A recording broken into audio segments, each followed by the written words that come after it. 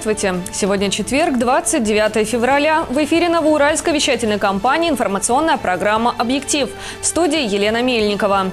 Я и мои коллеги расскажем вам о последних событиях. Коротко о главных темах выпуска. Сегодня президент России Владимир Путин обратился к Федеральному собранию. Новоуральск выбирает. Под таким названием в концертно-спортивном комплексе состоится двухдневный бизнес-форум. 2 марта начинается прием заявлений на все смены в лагерь «Самоцветы». Всего в этом оздоровительном центре летом отдохнут полторы тысячи детей. Директор по региональной работе и социальным проектам топливной компании «Твел» Юрий Кривов встретился с молодыми педагогами Новоуральска.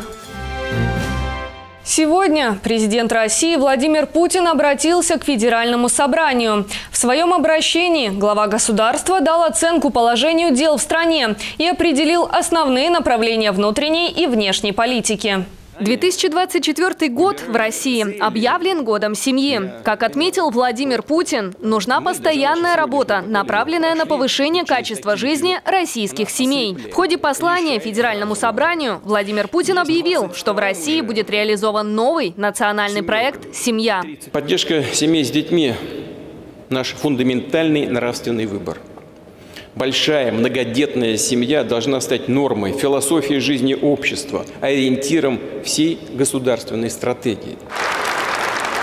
В горизонте ближайших шести лет мы должны добиться устойчивого роста рождаемости – для этого будем принимать дополнительные решения в системе воспитания и образования, регионального и экономического развития. Основные тезисы касаемо нового национального проекта. Регионы, где показатели рождаемости ниже среднероссийских, получат помощь не менее 75 миллиардов рублей. Будет продление программы семейной ипотеки для семей с детьми до 6 лет. Льготная ставка составит 6%. Также продление программы погашения по кредиту 450 тысяч рублей при рождении третьего ребенка. Для семей с двумя детьми налоговый вычет будет увеличен до 2800 рублей в месяц, до 6000 для семей с тремя детьми. Глава государства отметил, что в России живут более двух миллионов семей, в которых по двое и трое детей. Это гордость для страны, отметил Владимир Путин. Президент объявил о реализации еще трех новых национальных проектов. Продолжительная и активная жизнь, молодежь России и кадры. Все они направлены на поддержку россиян. Напомним, с 15 по 17 марта в России пройдут выборы президента. В этот же период в регионе будет проходить познавательная викторина «Опорный край», посвященная 90-летию образования Свердловской области. Проведение викторины в дни голосования – это отличная возможность охватить как можно больше жителей. У всех участников викторины есть возможность стать обладателем квартиры в столице Урала. 45 квартир ждут своих хозяев. Стало известно, какое жилье приготовили организаторы в подарок для участников викторины. Это будут однокомнатные квартиры и студии в новых домах, все с чистовой отделкой. Организаторы озвучили, что квартиры находятся в разных домах и в различных районах Екатеринбурга. Озеро Шарташ, на Вторчермете и Уктусе, в Академическом районе и на Широкой речке. Несколько вариантов находятся в центре Верхней Пышмы. Важный момент для получения подарка участнику викторины нужно сохранить свою анкету и карточку с номером. Победителей определят в прямом эфире 12 апреля с помощью генератора случайных чисел. Помимо квартир разыграют 2000 смартфонов, 20 мотоциклов и 100 автомобилей. Чтобы стать участником розыгрыша, необходимо прийти в пункт проведения викторины и ответить на вопросы. Пункты будут расположены рядом с избирательными участками. Приходите и испытайте удачу. Вся необходимая информация находится на сайте опорныйкрай.рф.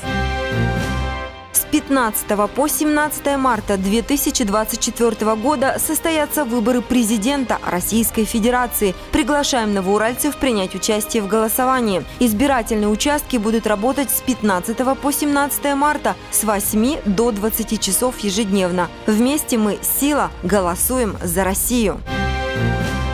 Сегодня молодые учителя Новоуральска встретились с директором по региональной работе и социальным проектам топливной компании «Твел» Юрием Кривовым. Речь шла о поддержке молодых специалистов и не только. О том, как прошла встреча, расскажет Юлия Балдина.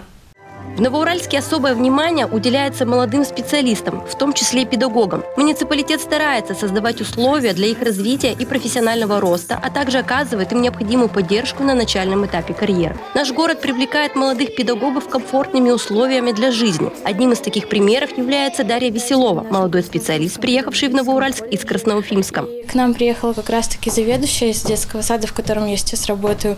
И очень мне показалась душевная женщина, очень было тепло с ней общаться, и я сразу поняла, что мне как бы хочется попасть именно в ее детский сад. А, обещали хорошую зарплату, поддержку, и я это получила. Я набрала малышей, и да, мне очень нравится, мне кажется, это для меня. И город? Город тоже очень нравится, и ландшафт, и дизайн, и, в принципе, здесь очень тихо, спокойно и уютно. Я, когда приехал в город Науральск, я получил квартиру, плюс а, к этому выплата 35 тысяч, как а, учителю, который после учебного, высшего учебного заведения. Я был здесь в 2013 году еще ребенком. Мне очень понравился ландшафт, мне очень понравилось, а, что многое развито в сфере спорта. Можно активно заниматься и проводить время. А я сам как активный спортсмен, любитель, человек, который бегал марафоны и другие разные соревнования. Ну, это вот притянуло, зацепило. Важность роли педагога в формировании подрастающего поколения и обеспечении комфортных условий для работы и жизни молодых специалистов стали центральными темами встречи, проведенной директором по региональной работе и социальным проектам топливной компании «ТВЭЛ» Юрием Кривовым с молодыми педагогами Новоуральска. Особое внимание было уделено мерам поддержки, которые прилагает топливная компания «ТВЭЛ» молодым педагогам. Мы э, исходим из того, что губернаторы в регионах приняли э, на сегодня, ну, практически во всех регионах нашего присутствия те или иные, те или иные э, меры поддержки э, для молодых специалистов в образовании. И мы со своей стороны договорились, что с этого года мы будем э, дополнительно, ну как это, умножать на два принятую в регионе меру поддержки. Топливная компания предлагает тоже меры поддержки, зеркальные меры поддержки, э, зеркальные тем, которые у нас есть в области. Э, в области есть одна мера поддержки при определенных условиях, это 35 тысяч подъемные деньги первый год. Поэтому тем, кто отработал три года, а у нас таких э, человек 6-7, э, им по истечении трех лет работы именно в образовательных организациях Новоуральска, э, ТВЭЛ также будет выплачивать по 35 тысяч. И буквально сегодня-завтра мы уже такой договор, такое соглашение подписываем. Я думаю, что это приятный бонус для наших педагогов, которые все-таки остались в системе образования города Новоуральска. Новоуральск – привлекательный город не только только для жизни, но и для работы молодым педагогам, которые здесь находят необходимую поддержку для своего профессионального и личностного роста. Важно продолжать развивать диалог с молодыми специалистами и создавать условия, способствующие их успешной адаптации и развитию в новом месте работы. Юлия Балдина, Дмитрий Дедюхин, Новоуральская вещательная компания.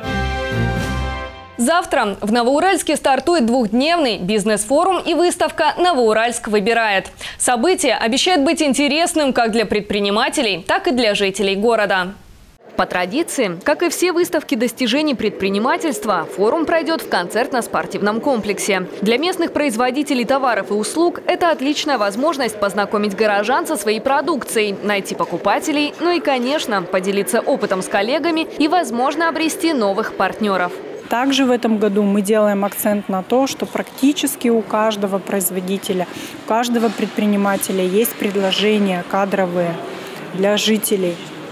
Поэтому мы хотим, чтобы э, жители ознакомились с ними, посмотрели, э, если кто-то ищет работу или задумывается о смене работы, для того, чтобы иметь представление, где же в городе и под какие требования, с каким уровнем зарплаты работодатели э, предлагают. Два дня. 1 и 2 марта. Более 150 участников и масса полезной информации. Для предпринимателей пройдут мастер-классы, бизнес-тренинги, практические занятия по актуальным темам, открытый диалог с главой города по стратегическому развитию Новоуральска, сессия по социальному проектированию от представителей топливной компании «Твейл». Новоуральцы же смогут ознакомиться знакомиться с городскими предприятиями и их продукцией. Это выставка прежде всего для наших наших горожан. Ведь мы знаем, что у нас э, более тысячи вакансий в городе в центре занятости.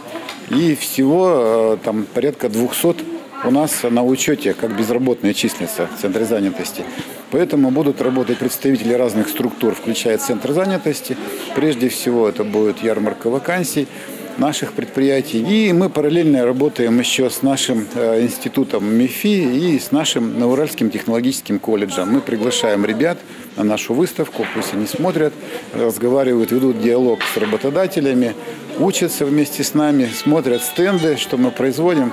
Поэтому всех приглашаем на нашу выставку. Будет очень интересно. Также 2 марта у горожан будет возможность приобрести товары на ремесленной выставке, которая будет расположена в фойе комплекса. Приятным сюрпризом станет выступление группы из Екатеринбурга «Сердца» и «Лимонад».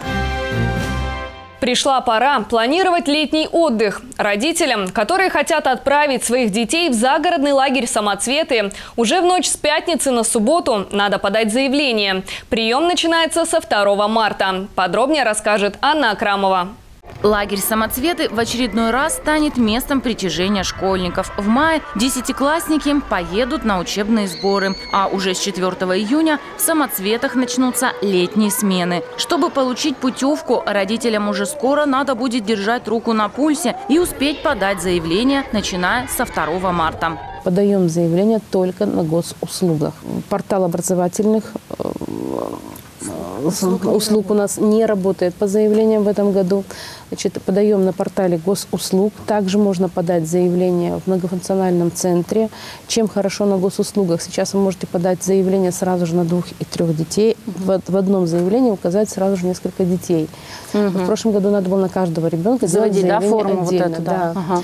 А, значит, на портале госуслуг, либо в многофункциональном центре можете подать заявление. Но сразу же говорю, что если с нуля часов вы можете подать и сразу же попасть в очередь, а очередь у нас устанавливается по времени подачи заявления, то многофункциональный центр уже вы пойдете, конечно, да, днем. Вот давайте как время... раз на этом заострим внимание, потому что у нас в ВКонтакте тоже был такой вопрос, что вот женщина спрашивала, что если не получится все-таки подать через э, документы госуслуги, можно ли просто идти можно в МФЦ? То есть мы заостряем внимание, что очередь тогда отодвигается. Конечно. Отметим, что очень важно в течение шести рабочих дней с момента подачи заявления предоставить необходимый пакет документов в многофункциональный центр по предварительной записи Иначе программа посчитает, что человек отказался от путевки.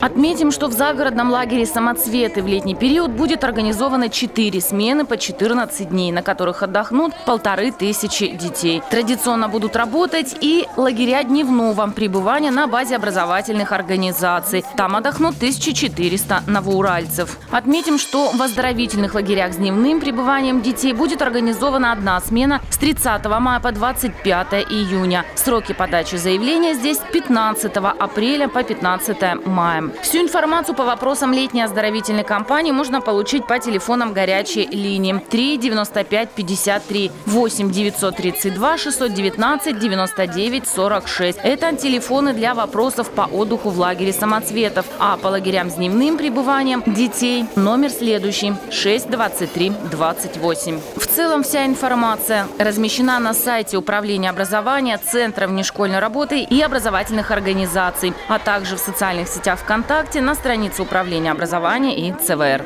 Анна Акрамова, Дмитрий Дедюхин, Новоуральская вещательная компания.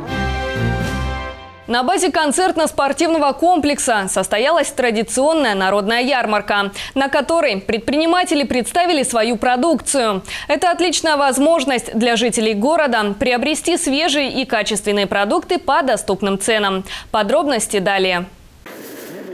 Народные ярмарки в Новоуральске являются неотъемлемой частью жизни его жителей и благополучно существуют уже многие годы. Эти ярмарки не только предоставляют возможность жителям города делать покупки разнообразных товаров, начиная от продуктов питания и заканчивая изделиями ручной работы, но и играют важную роль в поддержке региональных производителей. Благодаря ярмаркам местные жители и посетители имеют уникальную возможность приобрести качественные и авторские товары, поддерживая тем самым развитие местной экономики.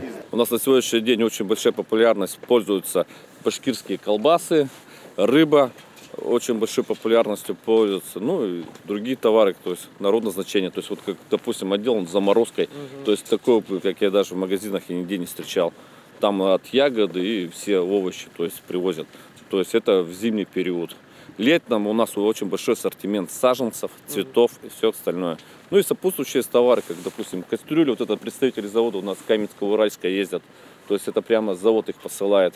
В течение последних лет наблюдается постепенное снижение посещаемости ярмарки. Это явление имеет объяснимую причину. В наше время многие люди предпочитают делать покупки в крупных сетевых магазинах или онлайн-платформах из-за удобства, широкого выбора товаров и возможности сравнить цены и быстрой доставки. Это создает конкуренцию для традиционных народных ярмарок. Для исправления ситуации организаторы применяют максимальные усилия и каждый раз заказывают дополнительную рекламную кампанию с целью привлечь больше посетителей. Эти шаги направлены на восстановление восстановление интереса к ярмарке, что в свою очередь может способствовать повышению посещаемости и успеху будущих мероприятий. Ярмарка, когда здесь отсутствует пешеходный трафик и далеко от всех магазинов, да, то есть приходилось очень много тратить денег на рекламу. Ну, да. То есть на рекламу, раскрутку, то есть это работа как и с предпринимателем, то есть надо было выделить определенные группы товара, чтобы народ именно шел именно за этими товарами, как бы, которые отсутствуют у нас в сетевых магазинах с этой задачей как бы справились. Народные ярмарки в Новоуральске играют важную роль не только как экономический механизм, но и как средство укрепления общности, развития культуры и формирования позитивного социально-культурного пространства в городе. Кирилл Пантелеев, Михаил Карелин, Новоуральская вещательная компания. Репертуар театра, музыки, драмы и комедии пополнился новой постановкой по книге Григория Остера «Дети и эти». Как говорят создатели спектакля, смотреть постановку могут зрители от 4 до 99 лет. Интересно будет всем. Что будет, если ребенок окажется на месте взрослого и наоборот? Насколько увлекательна игра «Пожар»? Куда детям спрятать спички, чтобы родители их не нашли? Именно этими вопросами озадачены артисты театра в новом спектакле по произведению Григория Остера «Дети и эти».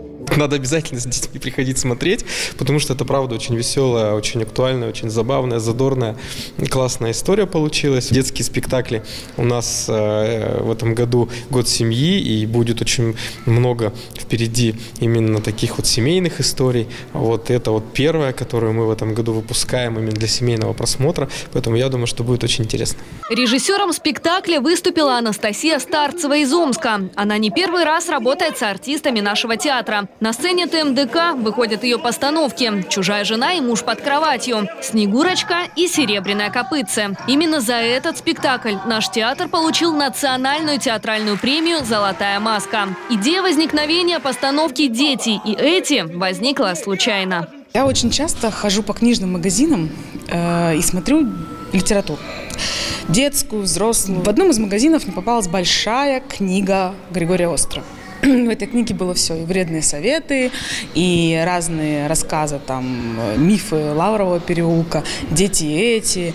И, значит, я эту книгу покупаю. Начинаю читать, понимаю, что, боже мой, тут готовый спектакль просто.